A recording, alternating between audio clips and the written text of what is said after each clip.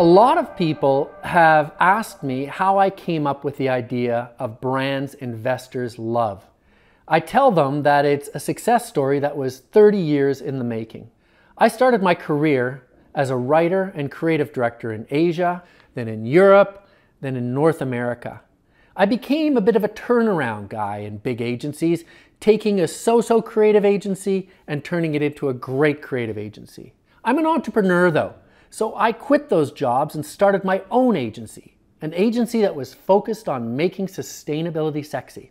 I sold that after five years and went into business helping entrepreneurs create great brands. Why did I do that? Because I love entrepreneurs. They're fun. They go for it. They have a growth mindset. I worked on all the big brands. I worked on Procter & Gamble. They make half the stuff that's in your house. I worked on Unilever. They make the other half of the stuff that's in your house. I worked on Budweiser. I worked on McDonald's. I worked on all the big brands. So I understand how a big brand is built. But I would way rather work with entrepreneurs because the world needs more entrepreneurs. And I'm happy to give them the benefit of my big brand experience to help them build brands that investors love.